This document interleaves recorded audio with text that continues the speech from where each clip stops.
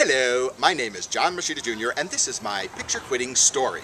You know, when picture quitting was first getting started a number of years ago, I was ready to quit. At least I thought I was ready to quit, but they were just starting this new program, and I thought, I'll give this program a shot. And I took some medicine, and I did whatever, and it really didn't work out that well, and I started smoking again, and I went on my own little way. And then one, mm, about four years ago, my doctor said to me, you know, they have this new program, it's called picture quitting. I said, well, I did that before. She said, well, you should try it out now because it's really different. So I went back again, and I tried it out, and they put me on the Chantix medicine, which I really liked. It gave me great dreams. It was really terrific. And then we got together with a whole bunch of puffers all together in the same room, and we all talked about how stupid it was that we were smoking and why we smoked and all that kind of stuff. It was really a terrific experience. And some people did the Chantix, and some people did this other medicine, and this thing and that thing, and they did the inhalers, or they did the patches, or they did whatever. Everybody did whatever they chose to do, and then we all got together, and we all talked about, you know, why we still smoke. And then eventually, on August 27, 2007, we quit. And it was great. I think everybody, really, pretty much almost the whole group is still not smoking, and it's really a wonderful and an exciting thing to do. Believe me, I really didn't want to smoke, and I just kept smoking because you smoke for stupid reasons. You know, the baby has the croup, the bridge is washed out. I have to smoke. It's the second Tuesday in July. I have to smoke. Everything you want to do, you just smoke because you want to smoke. If you want to quit, you can quit, and they are there to help you. Picture quitting. It's the only way to do it. I mean, it's really great. It is the entertainment industry's secret.